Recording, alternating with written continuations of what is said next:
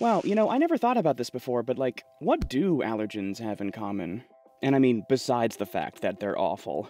And that's actually a really, really interesting question because the little bits and pieces that give you allergies come in so many different shapes with so many different properties. Just look at pollen, probably the allergen you know the most about. Turns out the way pollen sets off an allergic response is wild. Pollen is built to instantly wage a kind of chemical warfare, basically wherever it lands, instantly releasing a bunch of gnarly protein cutting enzymes that, no joke, slice through the little junctions joining the cells lining your airway. Why does pollen do this? The answer there is ridiculous, but we'll get to that later in the video. For now, the only thing I'll say is it's honestly understandable that whatever pollen is trying to do would kick off an immune response. But there's so many other kinds of allergens that aren't violent attack platforms. Surely cutting into your cells isn't a common thing that sets an allergic reaction into motion. Right? Well, according to an incredible new paper that just hit Nature, maybe that's a decent way of thinking about the common features between most allergens. This incredible research team out of Tsinghua University in Beijing not only managed to build a really slick cell model to help better understand allergies, they then used that model to isolate these two gnarly looking proteins that aggregate together into these massive complexes that are responsible for allergic reactions caused by a common mold. The way they pulled off this paper is incredible, and their findings are awesome. And it turns out there's a lot of allergens that end up stabbing tiny little holes in the cells that line your airway. You know what? Let's go ahead and explore how they do that.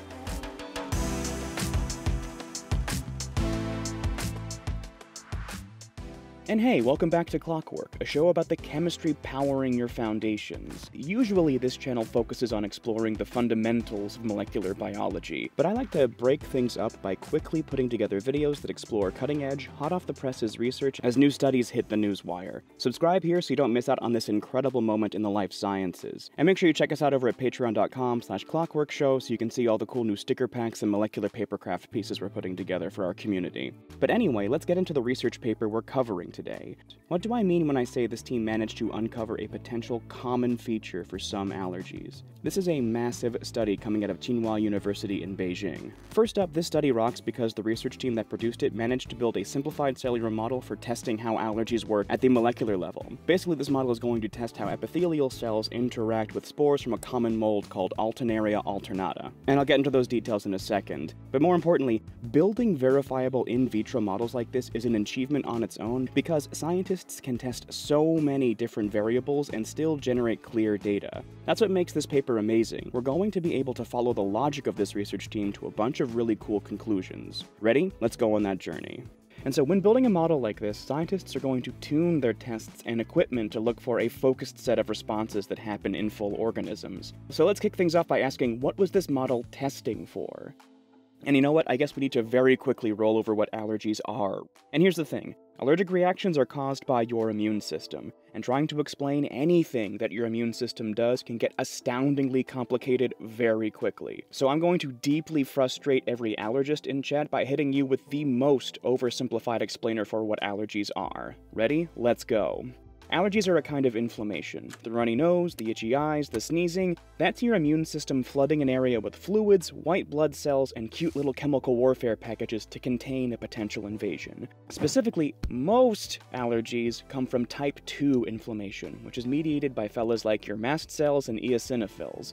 This variety of inflammation probably evolved as a defense against hardcore invaders like fungi and parasitic worms, hence, you know, the really overt response. Type 2 inflammation is great to study because it is activated by very specific molecular signals that scientists can test for. When your frontline cells quote unquote call in the cavalry for an allergic response, earlier discoveries have shown there are three big things they do. First of all, they release a hyperspecific alarmin protein called IL33. Yes, it is no joke in a protein class called alarmins. More on that later. Next up, those cells are going to activate a signaling mechanism called MAPK, which is sometimes turned on when cells pump a whole bunch of calcium into their cytoplasm. And finally, those cells are also going to activate a bunch of inflammatory genes in their DNA, basically producing a bunch of defense proteins that can help repel any uninvited guests or call for help. Specifically, a significant portion of these genes produce proteins called cytokines and chemokines, which act as more danger signals that activate your immune system or call in immune backup. A whole mountain of earlier studies has shown that any one of these signals will activate your immune system, causing special cells to build and release a very important antibody called IgE. IgE is eventually used as the activation switch for your allergic goon squad, so you can thank this floppy little doofus the next time you're suffering. Great job, buddy. We really appreciate what you're doing here. Now, of course, there is obviously a lot more to allergies than that, but those are the three main signals that helped guide the paper we're going to be exploring today. But before we actually get into that paper, one more layer of background here, we should probably meet the cells that are ground zero for your allergic reactions. And y'all, meet your airway epithelium. Now, technically, allergic reactions can happen in the epithelial cells lining your eyes and heck, even your skin too, but this paper focused on the airway, so you know what, we should too. While all the actual reactions to allergens are pumped out by your immune cells, these barrier fellas are going to be the ones who raise the alarm in the first place. Your airway epithelium is a tightly packed barrier of these little columnar fellas, Zooming in, their main job is to build really tight junctions with each other and be the first line of defense against any weird germs that try to break in via your lungs. Frankly, their main job is to not be bothered by whatever gunk you just breathed in. This is what makes allergies so annoying and perplexing. Type 2 inflammation in your airways isn't triggered by an overeager immune system reacting to some random dirt it just found, it's set off by alarm bells coming from these guys. So, finally getting back to the paper, the experiments done by this team from Tsinghua University central to our story involve getting a bunch of these barrier cells to comfortably survive in a more controlled environment, like a warm bath of pink, nutritious cell media inside a petri dish or whatever. Once this cell model is established, we can do whatever we want to these cells, you know, in the name of science. And you know what? The researchers just threw a bunch of mold extract onto them. Highly precise and well calibrated mold extract, I mean. The research team at Tsinghua University used purified proteins from a pretty common mold called Alternaria alternata. Now, when this, um, alt little mold isn't bullying tomato leaves, it can set off some pretty significant allergic responses in anyone who accidentally inhales its spores. This makes Alternata a great, you know, model mold for calibrating these model cells. And sure enough, when exposed to Alternata extract, these model cells released a bunch of IL-33, boosted all their inflammatory genes, and sucked up enough calcium to activate their MAPK pathway. Mold spores cause allergies confirmed. Experiment over. Well done, team. What a cool video. Right? Yeah, no. But of course, that's just confirming the model works. This is Tsinghua University we're talking about. These teams aren't playing around. The next step is the actual science part of the paper which I am now going to gloss over in a single sentence. The researchers here carefully filtered the A. alternaria serum that caused these allergic reactions to the point where they isolated two individual proteins responsible for activating those allergic signals. Nice. And here they are, a pretty small protein and a pretty large protein. So the researchers named these aegerolysin small and aegerolysin large. Alone, they don't look like much, but throw a bunch of these coils into an epithelial cell, and they'll clump together in these little wheel shapes. And you know what? The name really says it all. Turns out, when they circle up like this, they basically punch little holes into the base of our airway epithelium. Which is the start of a really interesting conversation. Why would these little holes cause an allergic reaction? And more importantly, why would Alti here build proteins like this in the first place? Why are you trying to build pores here, Alternata? And right now I think it's important to take a step back and get a quick, big picture look at what a lot of these allergens are doing. Here's the thing, Alternaria alternata spores don't know they're in your airway. They don't know anything. They're just randomly floating on the air hoping to bump into a nice, supple tomato leaf so they can get to work growing the next generation of moldlings, or whatever you want to call them. The minute those spores come into contact with a little moisture, they're shooting out all the proteins they need to set down roots. Pore complexes like the one made from Ag-S and Ag-L probably are needed to help Alternaria grab resources from their new host. They just also happen to kick off an immune response. To jump back to that original example I teased before, this is actually really similar to why pollen causes an allergic reaction. It's important to remember what pollen grains are. They're the, um, the boy part of the plant. Their entire job is to make their way to the sticky liquid on the stigma of another plant. Once pollen hits any kind of dampness at all, it's gonna, you know, shoot its shot, throwing out a wave of protein cutting and growth enzymes in an attempt to build something called a pollen tube that's there to, you know, penetrate the stigma and sire the next generation. In the case of allergies, your epithelial cells just happen to be in the way, and they get all micro cut up by pollen's initial barrage, uh, despite the fact that those pollen grains will almost instantly be swept away by the mucus lining your airway and destroyed by your stomach acid before they can even think about finishing their pollen tube business. And yeah, maybe it's a weird way of putting it, but sometimes these allergic responses happen because you're getting caught in the crossfire of the circle of life. Isn't biochemistry super fun?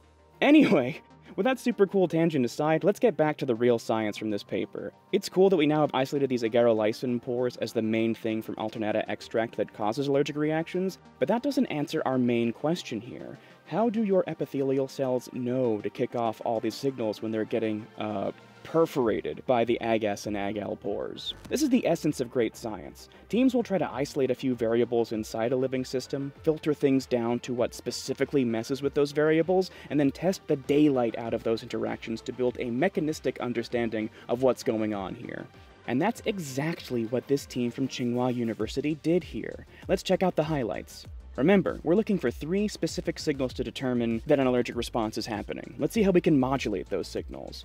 Model cells that were exposed to a small amount of these aegerolysin pores activated two out of the three allergy signals. They turned on all their inflammatory genes and they set off this MAPK pathway, which is kind of technically the same signal, by the way, but whatever.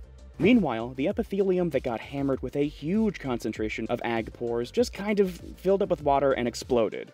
And oh wait, the team from Tsinghua University actually got that on film too. Nice. Can I real quick get some 07s going in the chat for our brave model cell here? Don't ever forget to show some respect for the quadrillions of individual cells sacrificed to advance our scientific understanding of how life works. But, uh, anyway, as they were exploding, those cells experiencing a heavy aegerolysin load also released a bunch of that third signal, IL-33, as a kind of, uh, help, I think I'm exploding message. And with those data points, plus a lot more we're not covering in this video, we can start to draw some conclusions about what aegerolysins precisely do to set off an allergic reaction. Last mile here, folks, let's put it all together. To summarize, here's what happens. When spores from Alternaria alternata hit our airways, aegerolysin S and L form into little pore complexes and perforate the membrane of our epithelial cells. This is going to set off a whole cascade of reactions. First up, calcium ions are going to leak into this epithelial cell and completely mess up the electrolyte balance in here. If you've watched any of my videos before, you know that one of the most important things cells do is actively maintain a very specific balance of electrolytes in their cytoplasm. Running those pumps is your largest individual consumer of energy. Second place isn't even close. The lion's share of the ATP you generate using food energy goes towards running these pumps. But that's a whole other thing. Anyway, if that balance gets all out of whack, it will activate things like this MAPK signaling pathway and other inflammatory genes. We tend to talk about cellular events at this level a little too computationally, and this is a big distraction. Our epithelial cells don't know they're getting blasted with allergens. There's no allergy button your body slams down on when you get hit with a wave of mold spores or whatever. Instead, this calcium ion influx triggers an emergency alert inside your airways that automatically calls in the cavalry. Nice. If calcium's there, something bad must be happening. And that covers two of our three big signals since the MAPK pathway is tied together with the production of these cytokines and chemokines. Now, if the epithelium just gets hammered with ag pores, then there will be enough holes to allow IL-33 out into the extracellular space and eventually the bloodstream. If those cytokines are an alert signal, then IL-33 is a code blue, a DEFCON 1, whatever you want to call it. It's a sign for your immune cells to drop everything and carpet bomb a region that's probably under attack by worms or something. But if you're deep into biochem here, you know that even though IL-33 doesn't have the pieces on it necessary to get exported out of cells normally, it still needs to get cut in order to actually activate the immune system. Raw IL-33 just isn't going to be able to call in the cavalry. And this is why I kept bringing up pollen.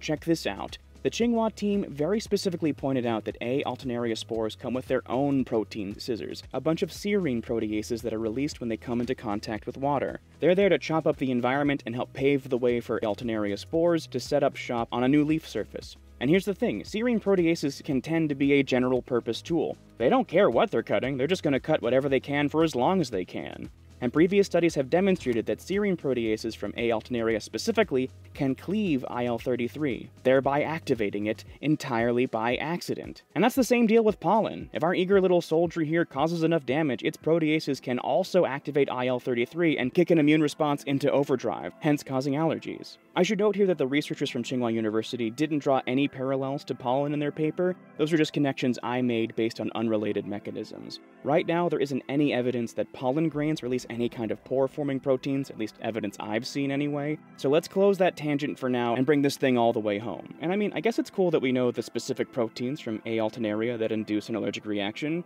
and it's like cool to have a solid understanding of how they kick off that signaling cascade. But what can we do to confirm that this could be a general feature for lots of different allergens? And you know what? That's actually pretty simple. The researchers isolated similar pore-forming proteins from a bunch of different known allergens and toxins and hurled them at these same model cells. Incredibly, the cells showed a similar response, which helps confirm that it's these little holes in our epithelial cells that kickstart an allergic reaction.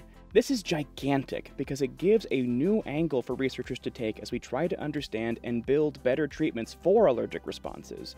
The way we typically talk about allergies is way too broad. You'll hear folks say that allergies are your immune cells bumping into a protein they suddenly decide they don't like, setting off an inflammatory cascade.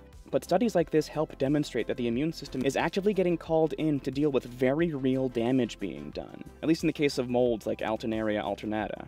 That damage might be mild enough, but A. alternata's biochemical context just might over-amplify the alert signals originally designed to help protect you against way more damaging invaders. In this way, we figured out that some allergens deal out a kind of micro-violence that your body is going to respond to. Now, potentially, other allergen researchers can screen common pollens that cause allergic reactions to see if they also leave enough holes in our epithelial cells to cause an influx of calcium or IL-33 release.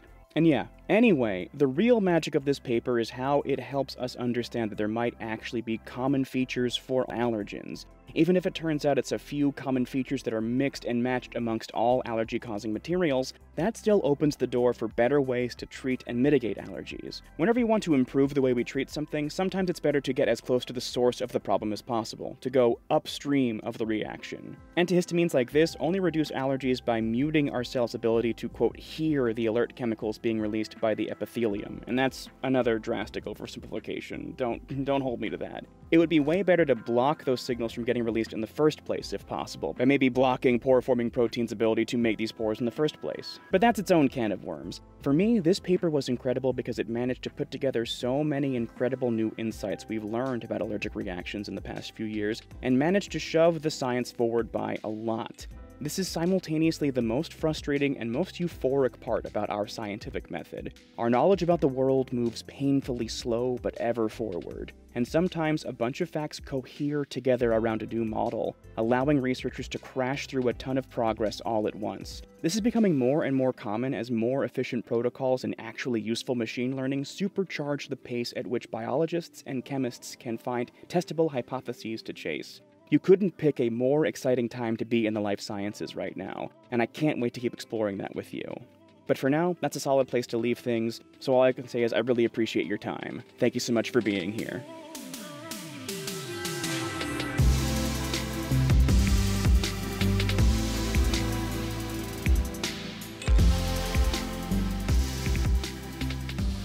And hey, thank you so much for watching to the very end of this video. If you like this video, it would mean a lot to me if you subscribe to this channel. Otherwise, I would also really appreciate it if you checked us out over at patreon.com slash clockworkshow. I've completely revamped the tiers over there, and I'm really excited for you to see the new awesome sticker packs we have available for August and then for September coming a little bit later. It's a great time to be there as I make Patreon our home base. You can also find some of our sticker packs over at watchclockwork.com, where another really important way to support the channel is signing up for our email list. Either way, let's keep this post-credit scene brief. I really appreciate y'all being here.